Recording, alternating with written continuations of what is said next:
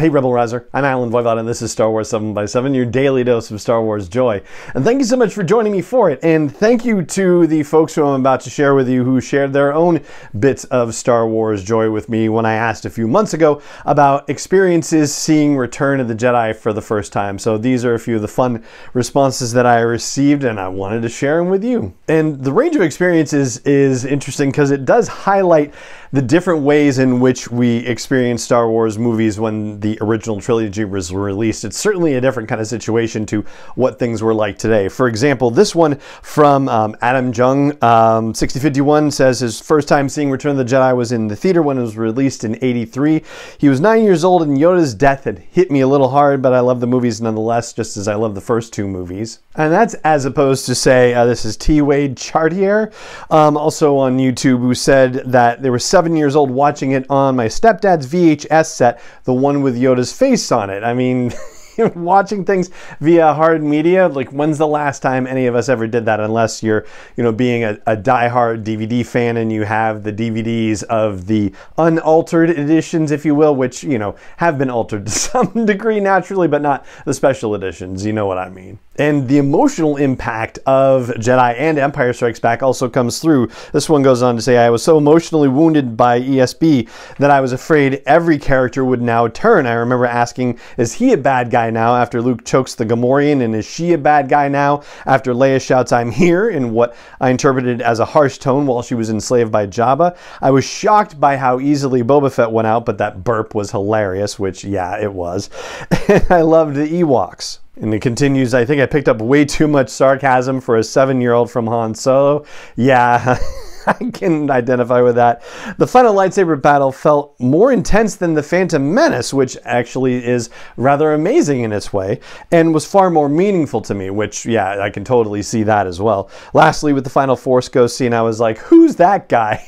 Presumably meaning Anakin Skywalker when Sebastian Shaw appeared they were saying they were seven years old when they watched that. I was 12 years old. I think I made the connection. It's, yeah, it's, you know, it's easy to miss it basically. I mean, considering how, you know, the makeup and the prosthetics and the way that they turned Sebastian Shaw so, you know, so pale and cratered and damaged, right? Versus what, you know, how you appeared like at the end of Return of the Jedi. Yeah, I can definitely see how it would be confusing for a younger audience for sure. So there was the theater experience, which is pretty common these days, and then the VHS experience, which is definitely not very common.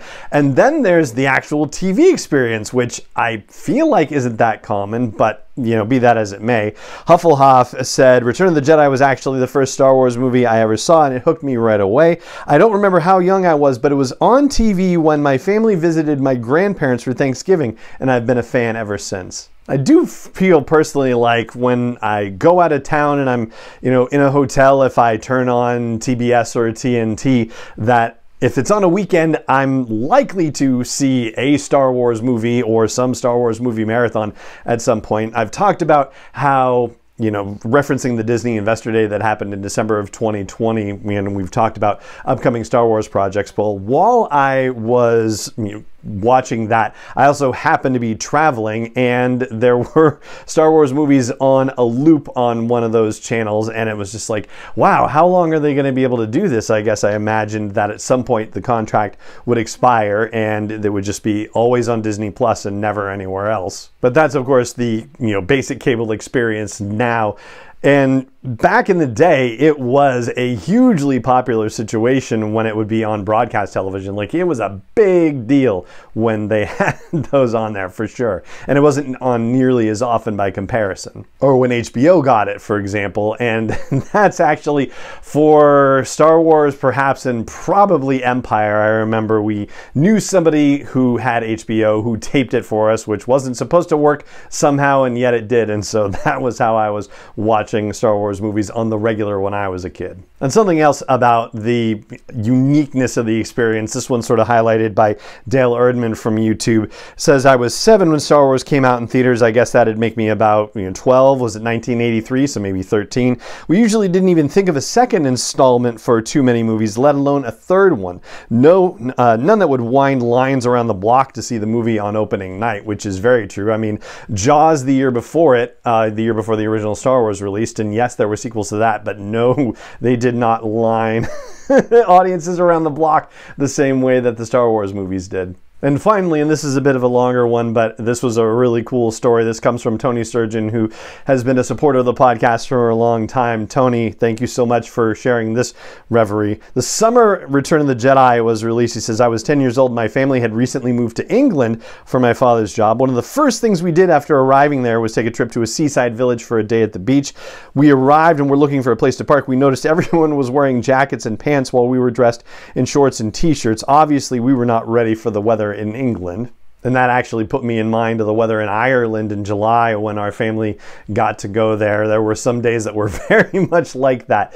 July in London was definitely a lot more temperate than what Tony was experiencing here. So, anyway, Tony goes on. We weren't sure what we were going to do since we weren't dressed for a day outdoors, but we noticed a movie theater and on its marquee was Return of the Jedi. I had been really disappointed that the movie, uh, the move to England, had not allowed me to see the movie right away, so I was insanely excited for this experience. I thoroughly enjoyed everything everything about it. However, halfway through the movie, when Princess Leia is meeting Wicket for the first time, all of a sudden the movie stopped. I nearly lost my mind. I've been waiting for this film for three years and then waiting even longer because of our move, and now I wasn't going to get to finish it. But then the words intermission appeared on the screen, and my parents had to explain to me that at some theaters they would pause the movie to allow you to get more concessions or go to the restroom. This was nothing I had ever experienced, but was greatly relieved when I was allowed to finish the film after a brief 10 minute minute break. It still remains one of my favorite theater experiences. And that's another thing about the movie going experience that has largely disappeared here in the US the idea of an intermission. And certainly movies like the Avatar movies just coming out could have used that for sure. And it just also kind of brings to mind the idea that a lot happens in that first half of Return of the Jedi. I mean, you feel like there are, you know, multiple set pieces, of course, but man, I mean, with the stuff that happens at Jabba's palace and the speeder bike chase that happens on Endor, and then you've got Luke going back to Dagobah, and you've got the setup for the, you know, the Death Star attack happening and the Emperor showing up on the Death Star. Like, there's a huge amount of stuff that's packed in that first half of Return of the Jedi, and I don't think I really you know thought about it that way from you know what it would look like from an intermission standpoint. So those are some of the responses I got when I asked about first experiences with Return of the Jedi, and I'm so grateful to everyone who shared their thoughts. Thank you so much for doing that, and that is going to do it for this episode of the podcast. It just remains for me to say thank you so much for joining me for it as always, and may the force be with you wherever in the world you may be. 7 by 7 is not endorsed or sponsored yet by Lucasfilm Limited, Disney, or 20th Century Fox, and is intended for entertainment and information purposes only. Star Wars, the Star Wars logo, all names and pictures of Star Wars characters, vehicles, and any other Star Wars related items are registered trademarks and or copyrights of Lucasfilm Limited, or their respective trademark and copyright holders. May the force be with them. All original content is copyrighted by Star Wars 7 by 7 We hope you love it.